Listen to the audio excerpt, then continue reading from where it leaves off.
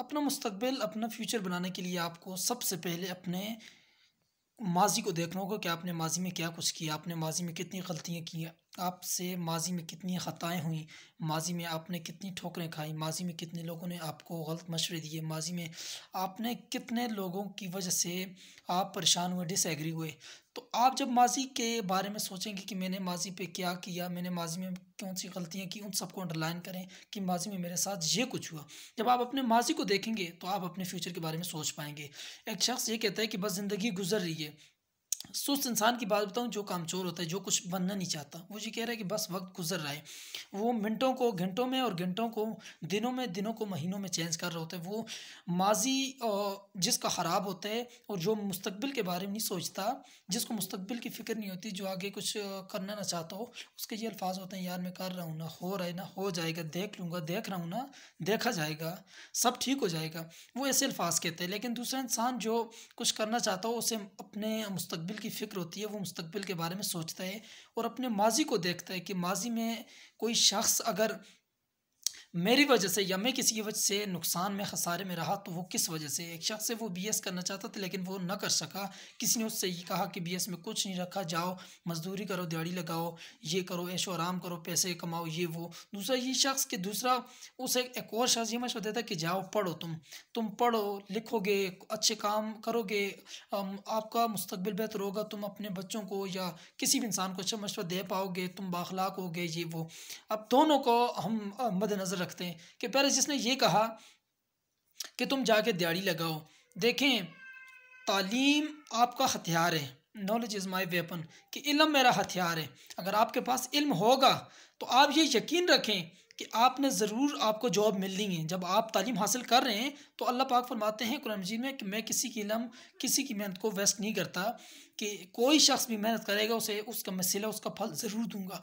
अगर कोई नौकरी पढ़ के कोई नौकरी नहीं मिल रही तो वो कोई प्राइवेट इदारे में पढ़ा सकते हैं इंस्टीट्यूट खोल सकते हैं अकेडमी खोल सकते हैं, किसी भी सेंटर में पढ़ा सकते हैं, किसी भी जगह पे वो एजुकेशन प्रोवाइड कर सकते हैं। अब जो कहते हैं वो दिहाड़ी लगाने वाला।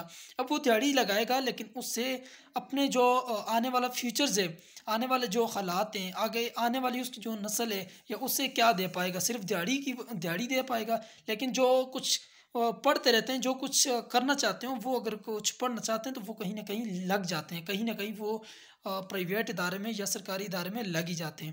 लेकिन याद रखें, आप अपनी माजी को देखें कि आपको माजी कैसा गुजरा, आपकी माजी ने आपको कितना तकलीफ़ दी, उन सब कुछ चीज़ों को अंडरलाइन लग कर करें कॉपी पे लिखें और आप अपने आप को देखें कि मैंने माजी में कितनी गलतियाँ की और अब मैंने फ्यूचर में क्या करना है।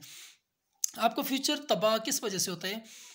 कि आपके पास अच्छी कंपनी नहीं होती, अच्छे फ्रेंड्स नहीं होते अच्छा माहौल नहीं होता जिसकी वजह से आपको आगे बढ़ने की जो कुत होती है वो नहीं मिल पाती। आपके दोस्त आपको कहते हैं, छोड़ो यार, हो जाएगा, चलो आज इधर चलते हैं, चलो आज ये करते हैं, वो करते हैं। तो आपको, आपका जो फ्यूचर है उसके बारे में वो नहीं बताते या उनको पता ही नहीं होता कि मैं अपने दोस्त के लिए क्या अच्छा करूँ और क्या मुझे करना चाहिए। आपका दोस्त आपसे यही कहेंगे, चलो आज चक्कर लगाने चलते हैं, आज खेलते हैं, आज ये करते हैं तो आपका दिन इसी तरह चला जाते हैं। उसके ऑपोजिट साइड देखें, जो पढ़ने वाले लोग होते हैं, जो किसी जॉब पर लग जाते हैं, जो कुछ करना चाहते हैं। उनके दोस्त ऐसे होंगे, चलो यार, पढ़ते हैं, चलो आज किसी प्रोफेसर के पास चलते हैं, चलो आज नई किताब आई है, चलो आज नई रिसर्च हुई है। तो वो पढ़ने के पीछे होते हैं। जब आप इन दोनों फ्रेंड्स में फ़र्क करेंगे तो आपको पता चलेगा कि वाकई जो है ना, मेरे लिए कौन सा दोस्त बेहतर है।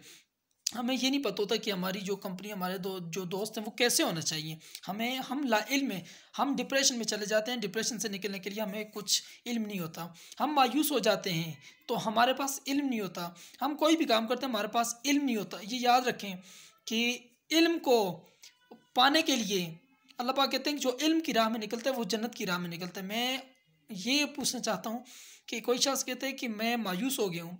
अब कोई मायूसी की डिफिनीशन बताए, मायूस, मायूसी के बारे में बताए तो उसे पता चल जाएगा, वो आसानी से निकल पाएगा। अब जो दिहाड़ी लगाने वाला होगा, उसे क्या पता होगा कि मायूसी से कैसे निकला जा सकते देखिए, मायूसी उस वजह से होती है जब आपकी कोई ख्वाहिश हो, वो पूरी ना हो।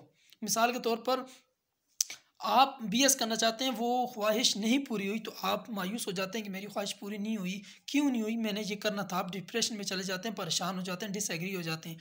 तो आपने क्या करना है कि अपने इल्म को जारी रखने अपने इल्म को आम नहीं समझना और इल्म को हासिल करते रहना है। उसके लिए आपको अच्छे जो बडीज़ हैं अच्छा जो माहौल है, वो आपको होना चाहिए। जितना आपका अच्छा माहौल होगा, अच्छे दोस्त मिलेंगे, पढ़ने लिखने वाले तो आप उतनी आगे चल पाओगे। क्योंकि आपके दिमाग को जो खुराक मिलती है, आपका दिमाग को जो सिग्नल मिलते हैं, आप आप वही कुछ बन जाते हो। गौतम बुद्ध के पास कोई ये, उसने कहा, मेरा मुस्तकबिल क्या है?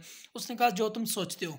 और इंसान वही सोचता है, जो वो देखता है। और वो देखता क्या है? जो उसको वीडियोस मिलती हैं, जो उसको माहौल मिलता है, जो दोस्तों के साथ होता है, जो दोस्तों के टाइम स्पेंड करता है टाइम स्पेंड करता है तो उस वजह से आप वो बन जाते हो। अगर आपने कुछ करना है, मुस्तकबिल को देखना है तो आप अपनी गलतियों को देखें, अपने फ़ैसलों को देखें कि मैंने माजी में कितने फ़ैसले गलत किए, मुझे किन लोगों ने ख़राब किया, मैं क्यों ख़राब हुआ, मेरी कौन सी ऐसी नादानियाँ थी, मैंने किस की ऐसी बात नहीं मानी थी जिसकी वजह से मुझे नुकसान हुआ, मैं खसारे में गया। और याद रखें कि तजुर्बेकार लोगों से एडवाइस ज़रूर लें, जो पढ़े लिखे हों, जो पढ़े लिखे से मुराद है कि जो बड़े हों।